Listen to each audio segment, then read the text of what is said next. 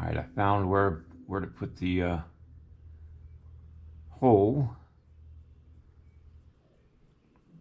But the only problem is it runs into the armature wire I set for the stem. It's called a neck, I think.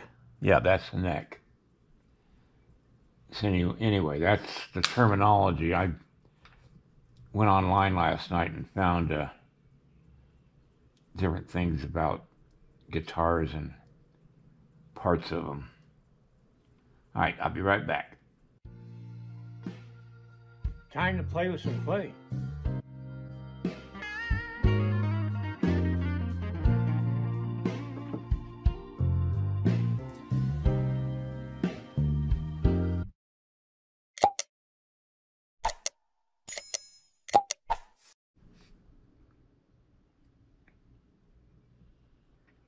I push the armature wire down deeper into the uh, clay itself. It still has a little lump in there. I there's nothing I can do about it. Maybe his hand will cover it. I don't know.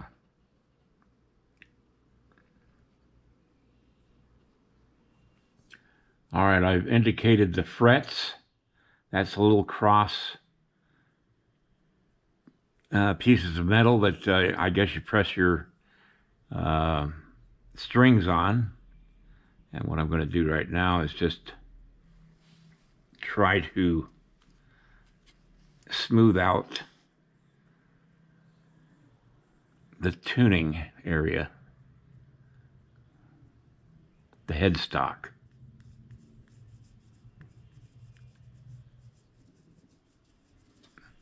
So you get an education here. All those of you that never thought of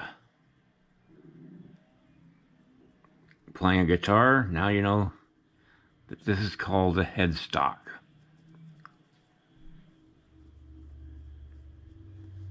I'm just going to indicate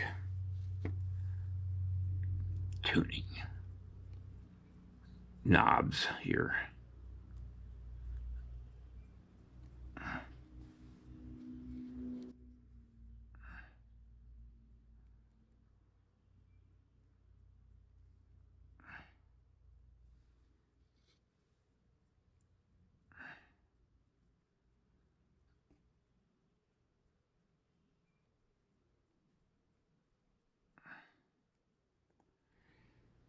As many of you know who follow my videos, I paint uh, objects that I create uh, for the uh, sculpture out of like say wax or in this case Super Sculpey and I want to match the color of my clay. And this is the clay that I use primarily for my sculpture. The only reason I used Super Sculpey is because it's very tough and it uh, cools off uh, very hard. And so I went to a uh, true value store where they sell paint and I had them match the color of my clay. And so that I can come now and paint the uh, super Sculpey to look just like my uh, clay. Now it doesn't hurt the uh, sculpture. It doesn't uh, affect the casting in bronze. It all comes out just fine. It just takes a question away from anybody viewing your sculpture the less questions asked by a potential client, the better chance you have of selling from the clay. Also, it helps me to see it as a single object instead of multiple different uh,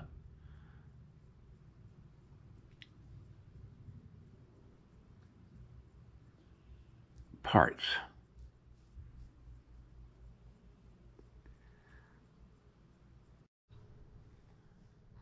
So as you can see, I finished uh, painting the guitar. I'm just going to let it sit there and uh, dry. I stuck this wire up into the back of the guitar um, because I knew that that would not affect the sculpture at all because uh, it's going to be against the stomach of the uh, gentleman I'm sculpting. So it'll be hidden, the hole that I made.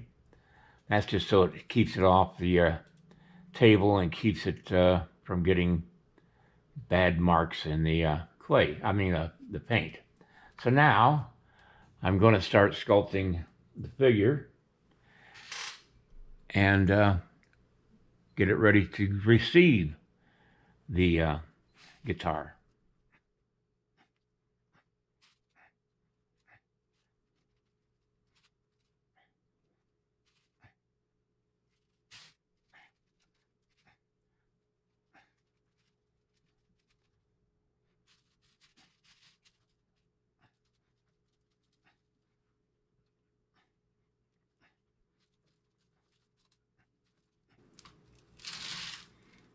I'm just setting a, the ground level for the foot of the cowboy.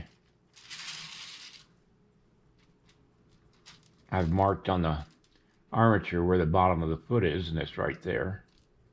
And that's the ankle. And uh, it just helps me to get everything in proper order.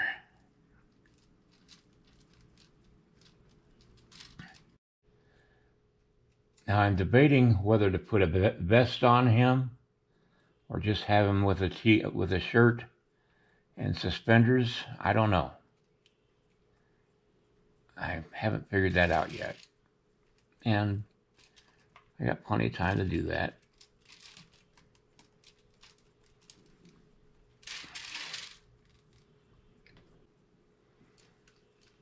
I'm just blocking in the uh, anatomy. I'm not worried about every detail, every rib, every muscle, every tendon. I'm just blocking it in so that it looks like a human being under the clothing.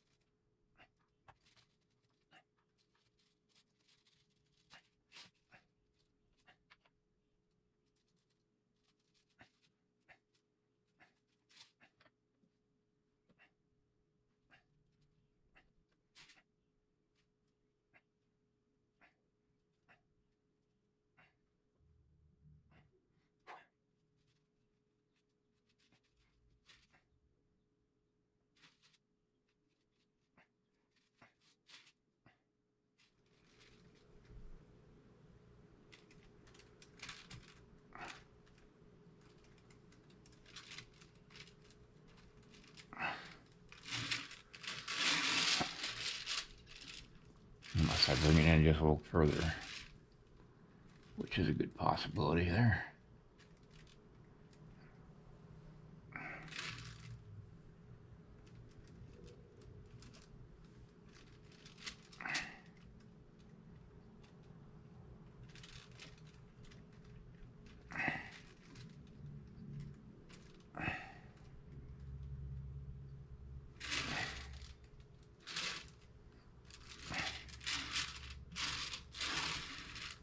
Well, anyway, that's what it's looking like.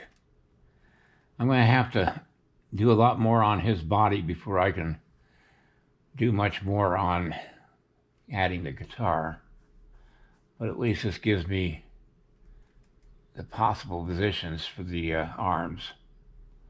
All right, I'll pick this up tomorrow and uh, we'll see how far I get. If you like this video, please like and subscribe to my channel. It really would help me. Also, check out the link below this video. It will take you to a review of my nine instructional videos that could be very helpful to you if you're thinking of sculpting. Good night, everybody.